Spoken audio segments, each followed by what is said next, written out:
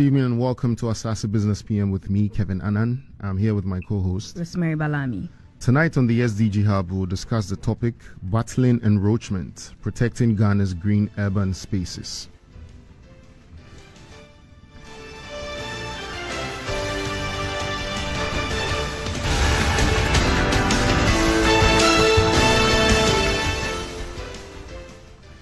And to discuss this, we have with us Awula Serwah. She's the founder and coordinator of Eco Conscious Citizens, as well as Maama Kwao Akita, who is the director of Eco Conscious Citizens.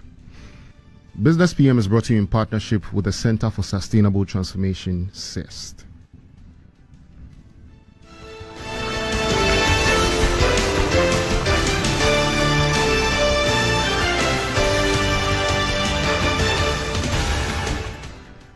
Good evening once again. If you just tuned in, you're welcome to another enlightening episode of our weekly SDG Hub here on Asaase Radio, your go to platform for in depth conversations on pressing global issues and sustainable development goals, run by the Center for Sustainable Transformation CEST here on Asaase Radio. I'm your host, Kevin Annan, and as usual, I'm together with my co host, Rosemary Balami. Uh, she's from the Young Reporters for the Environment, YRE Ghana, a program under CEST. Today we are tackling this critical issue, battling encroachment and protecting Ghana's green urban spaces. Ghana's urban spaces are home to vital green spaces including parks and gardens, which play a crucial role in enhancing the environment and well-being of communities. However, these green spaces are increasingly under threat from encroachment and unauthorized developments.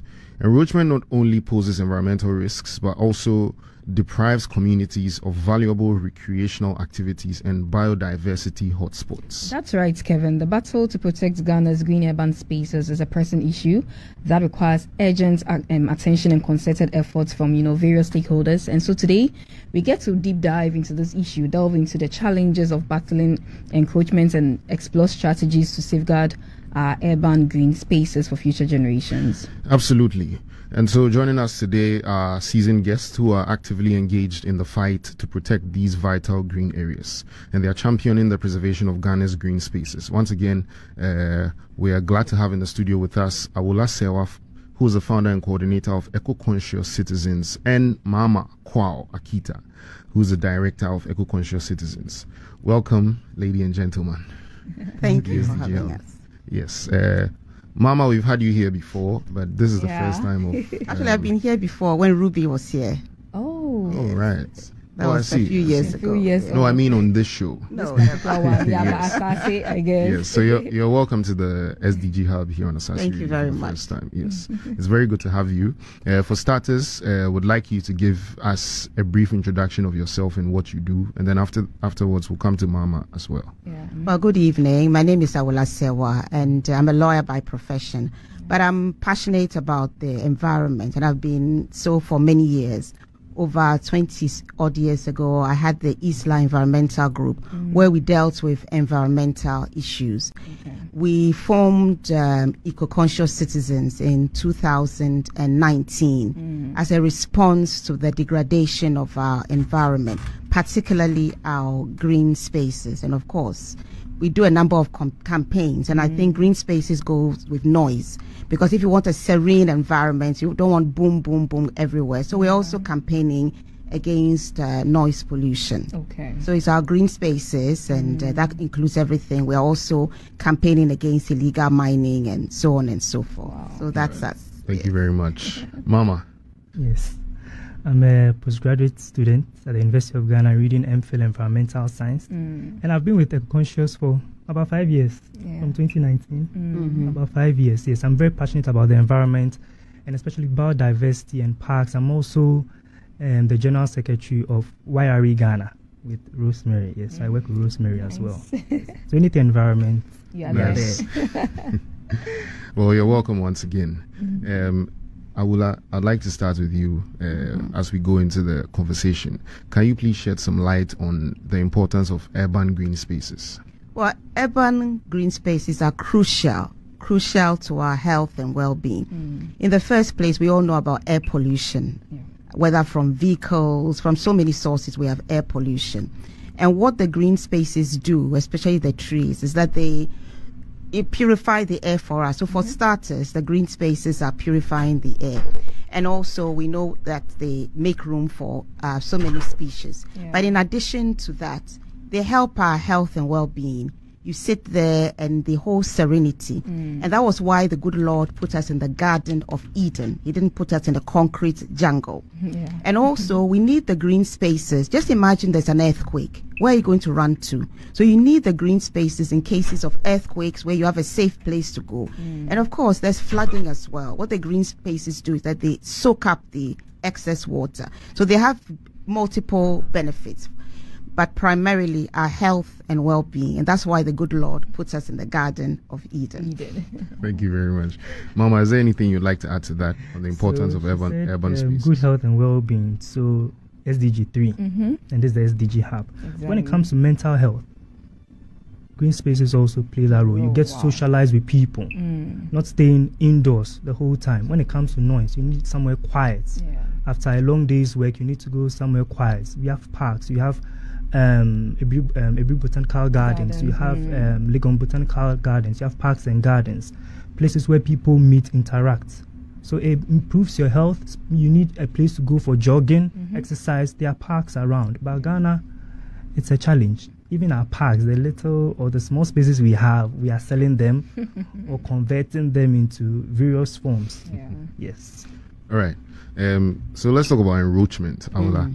Uh, as a conservative conservationist.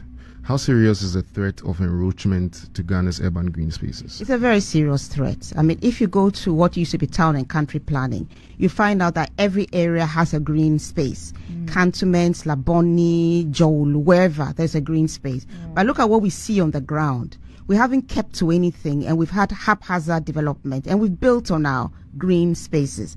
And this is just not a good thing to do. We've talked about the importance of our green spaces, that every area, you know, some people may be blessed to have beautiful gardens where they can go with their family and friends and enjoy the green space yeah. and do all the things that um, green spaces um, are there for. But that's not the situation for everybody. That's why in every sensible country where there are settlements, there's always a park. But unfortunately, uh, we've been let down by our authorities. They have allowed individuals to build on our green spaces and they have done absolutely nothing about it. Mm-hmm. Regarding eco-conscious citizens, our first campaign was, um, apart from the, we had previously campaigned against illegal mining, yeah. but one of our first campaigns was parks and gardens. When we found out that this fantastic idea of our first president that is to have parks across Ghana, mm. not just in Accra, but in all the regional capitals to have parks. And the raison d'etre of parks and gardens was also to beautify our green spaces and to acquire lands for green spaces. And then we find out that that very place, there was uh, an attempt to build a multi-story office building on a green space. I mean, who mm. does that? And just to give you a bit of history, uh, Parks and Gardens was established in 1961 as a department. Okay. Later on, it became a ministry mm. and uh, Cabinet Minister Okansi. Mm. But after the 66 coup, it went back to being a department and is currently under the Ministry of Local Government. Okay. And it was the same Ministry of Local Government which was attempting to build or getting a developer to build a multi-story office building wow. on Parks and Gardens land. So you could say that the firefighter was acting as an arsonist and that is really not on. But thanks to God and the media, we got a lot of media exposure. We had campaigns and so on and so forth. We managed to put an end to it in 2019 20. And now we're in 2024 and uh, it started again. It was an election year. So we're almost almost mm, in an election year, and the same thing is happening it's this happening. year. So 2024, the same issue. The same issue, yeah. and this one is by an estate developer mm. who I think is a pastor. Is it? Um, well, it's an estate uh, de- uh, developer, Danny Ike uh, Estate Developers, and there's one. Uh, Reverend Ezekiel, who is the one who is sort of fronting mm-hmm. the whole thing and pushing it. But we have said that it cannot happen. It's yeah. a green space. Most of our green spaces are gone, and we're not going to sit down and allow this green space to be taken over by an estate developer. I mean, look at the irony of it. A green space when most of our yeah. green spaces are already gone. Why would we, as sensible Ghanaians, sit down and allow um, an estate developer, mm. a private person, to take over a public space, space, a public green space? That's certainly not on. Not on, indeed. So you'd say gentrification is a big problem. Well, you see, it's it's bigger than that because you see, you're supposed to have. Um, um, planning. Mm-hmm. You know, so we are supposed to, when we are planning, we know that this is for a market, this is for a hospital. You don't just build haphazardly.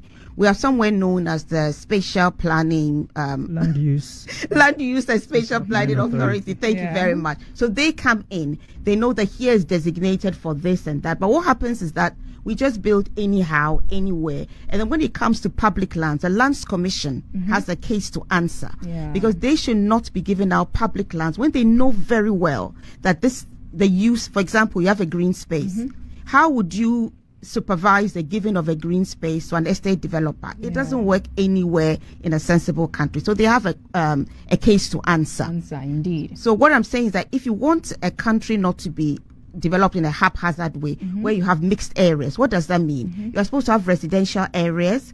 You're supposed to have commercial areas. You're supposed to have business areas. And the reason industrial areas, the reasons why you separate is that things are different.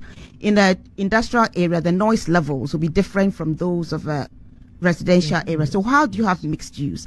But because we haven't wanted to follow regulation, we haven't understood independence. Independent. It doesn't mean that you you put all your laws aside. Mm-hmm. That that's, is not what it's about. Yeah. You adhere to laws and regulations, okay. which is one thing I think we are allergic to in this country. Mm. Indeed. So now we've seen calls by eco-conscious and other CSOs on these parks and garden issues.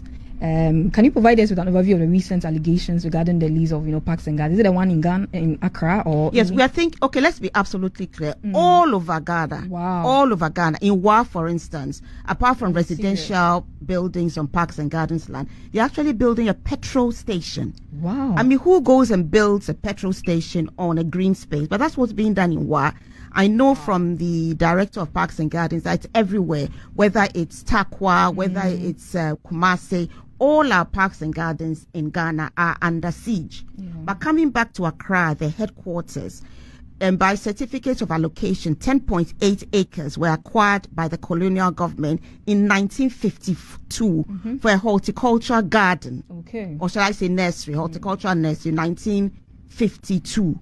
And then when uh, um, our first president came to power in 1961, he established what you call the Department of Parks and Gardens, Gardens mm-hmm. and the 10.8 acres were transferred to the Department of Parks and Gardens. Gardens mm-hmm. Now, this developer is claiming 2.1 something acres. Wow. But how does he claim land which was allocated, first of all, to the Ministry of Agriculture by a certificate of allocation? You can't just get up and take it. If you remember, um, to digress a bit, when it came to Achimota Forest mm-hmm. and parts of it wanted to be taken, yeah. an executive instrument had to be passed. Right. Yes. So you cannot just do it. There's a legal process. Procedure. You have to go to parliament. Mm. So all these have been laid aside, and he's had the impunity to take parks and gardens to court. Oh wow! Yes, so Danny mm. Ike um, estate developers have had the impunity, the audacity to take parks and gardens we, to shall court. Shall we avoid mentioning names? Okay, let's avoid mentioning names. So parks and gardens have been taken to court, and it's a public. It's it's a public. Um, uh, public information. It's not okay. a secret. Okay. If you go to the Out courts there. today, it's of public Oh, uh, okay. uh, you know, it's not it's in the public domain. It's yeah. not in the private domain. So it's not a secret. It's mm. something that's open. You okay. know, a court case is a public a public. Uh, oh, then it's, it's right. open information. it's open information. Yeah. So. Okay. We're not trying to say anything here that is a private matter. It's open information. They've been right. taken to court. Any public person has a right to see the writ because okay. it's a public it's, and parks and gardens is a, it's not a private, private person yeah. so it's in the air it's in the open okay yes great. thanks for that clarity so akita how does um, encroachment on urban green spaces impact the environment in local communities so i think awula mentioned when it comes to air quality mm-hmm. we're talking about sustainable cities and, yeah, communities, and communities, your health mm. if you're in an, in an environment which is um, uh, concentrated with buildings, mm-hmm. no trees, no open spaces. there'll be a lot of pollution the mm-hmm. vehicles the exhaust um, dust in the air yeah open spaces purify the environment mm-hmm. they purify the air they improve the health of the air the air it's also a hub for biodiversity you get a lot of um, insects around I know that insects, for example, butterflies, mm-hmm. tell you that yes, it's um, an indicator of an, um, a healthy environment. Okay. So some all insects are indicators of a healthy environment. They tell you what is going on at a particular place, mm. at a particular time, whether there's a water source.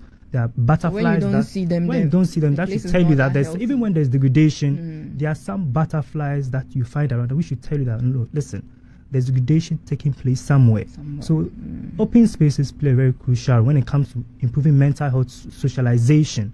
All these spaces are very important. But in Ghana, if you are not going to church, or you are not at home, or the mall, or the mall, but a green space, I mean, it's a very quiet place. because we haven't understood the concept of, you know, um, um, actually feeling having a feel of nature because even when you have when these real estate developers are you know building they don't even take into consideration all these all things, these things. Yeah. but some do mm. because i remember in school mm. we, we, went to some green spaces and we sent um, la wireless cluster of schools mm-hmm. to um, parks and gardens mm. okay. and they really appreciated we also brought them to Asante garden it's a private garden okay. and they really appreciated the whole place and they wanted to come back some haven't seen green spaces before but once you introduce them to it. Let them have a feel of it. Let them experience the whole area. mm. they'll get to appreciate it and tell others about it and they indirectly become ambassadors. Yeah. And sure. educate other people about but here in ghana our education system is also a little bit mm. um, tight. So it doesn't allow you to do things that you'd want to do, do. So, yeah. Yes. Uh, still on you akita.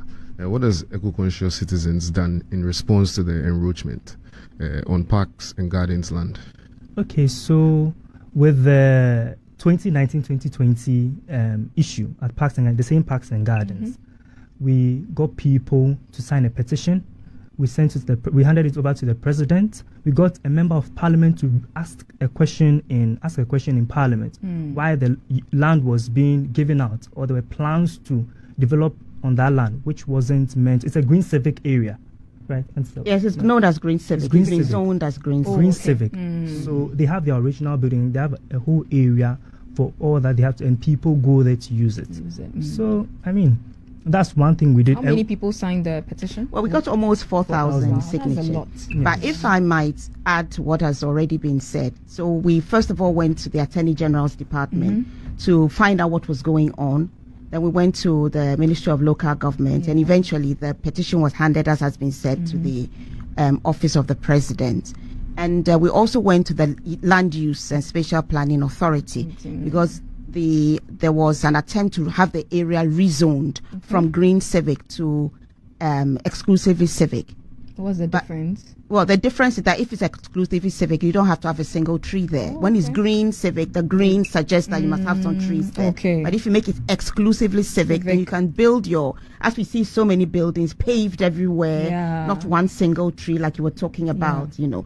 Recently, somebody sent us some, an estate somewhere. Mm-hmm. Beautiful houses, but to me they were ugly because there wasn't a single tree. tree. Wow. You know, there's a saying at parks and gardens that a home without a tree is charmless. Mm-hmm. You know, so we do need the trees. Yeah. Not uh, in addition to purification, also they add some beauty. Mm-hmm.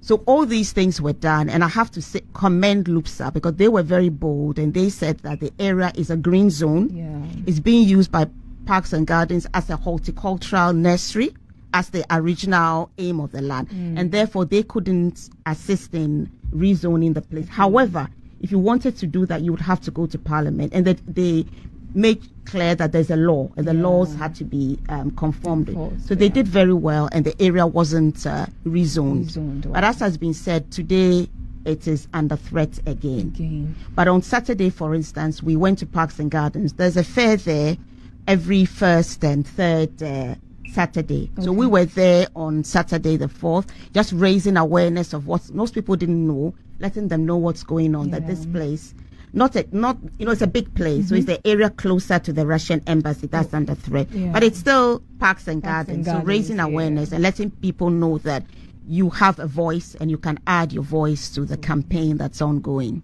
Wow. So apart from that success story, the same land which we protected, mm-hmm. the trees from the um, um, the cathedral site. Okay. Mm-hmm. They were moved and replanted at that same zone. Oh, okay. So now the trees are there. Where they were building the national cathedral. Yes, they didn't yes. want to just fell all the trees, oh. especially with people talking mm, about felling. Yeah. So you know there's a method. It's quite expensive, but you can sort of um, dig, dig very deep, deep. Oh, and then get the trees out, out, and then they were planted oh. at the nursery. Mm. And ironically, when they were taking the um, trees there, you know, the wall that had been built by Parks and mm-hmm. Gardens, they damaged it because they had to bring the trees, trees in. in. And that's where the encroacher used mm. to get to mm. Parks and Gardens and wow. take two containers there.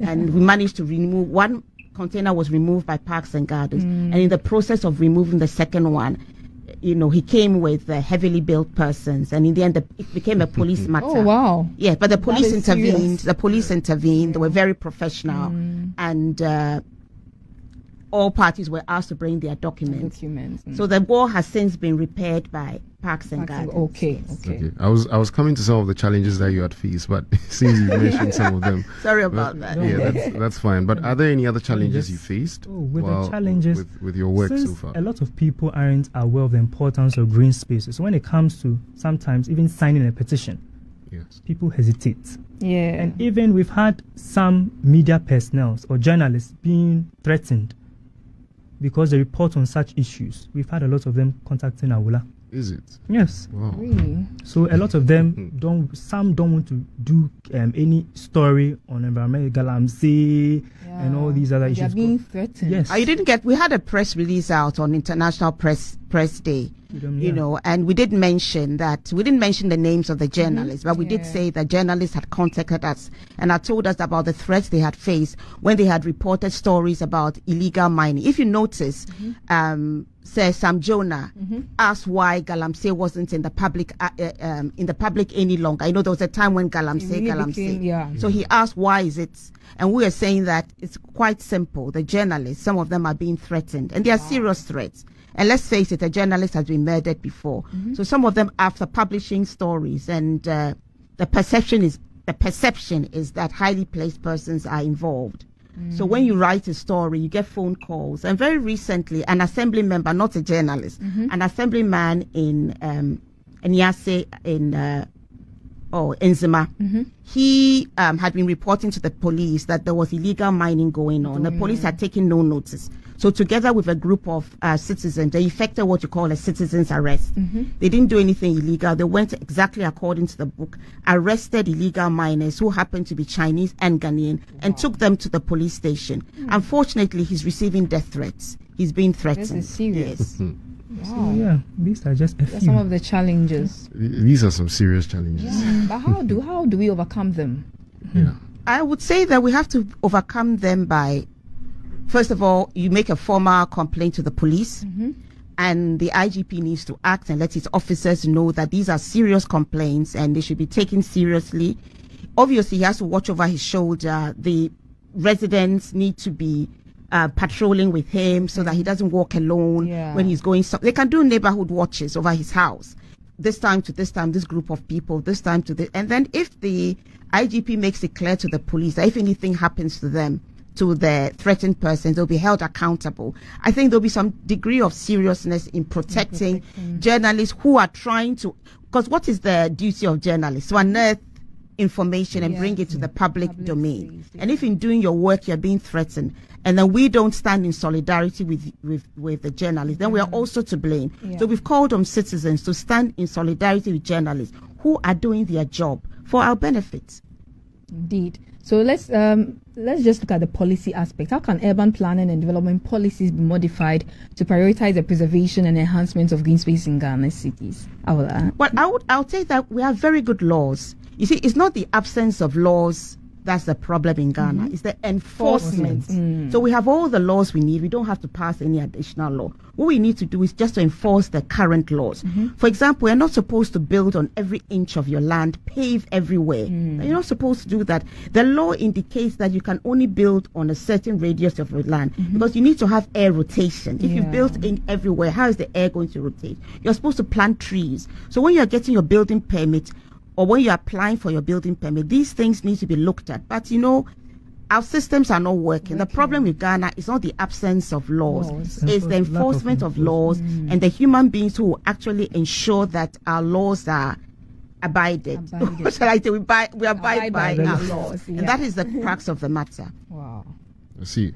Uh, this is a very interesting very, conversation, very interesting. but unfortunately, our time is almost Eye opening as well. Yes, yeah. time has gone by very fast, and this is all the time that we have for today. So, we'd like to thank our guests, Awula and Akita, for their valuable insights on this crucial topic, and also thank you to our listeners for tuning in. Remember, preserving green areas isn't just about trees and grass; it's about sustaining life, fostering community, and safeguarding our future.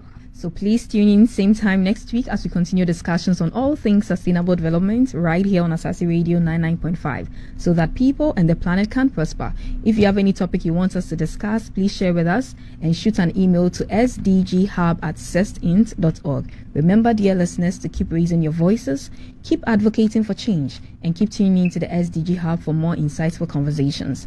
Until next time, stay informed Stay engaged and keep advocating for a greener, healthier planet. And that's a wrap on the SDG Hub. Thank you for staying here with us. Uh, we've been speaking with Awula Serwah, founder and coordinator of Eco Conscious Citizens, and Maama Kwao Akita, director of Eco Conscious Citizens. I've been your host, Kevin Annan, and I did this with my co host, Rosemary Balami. We go back to Caleb.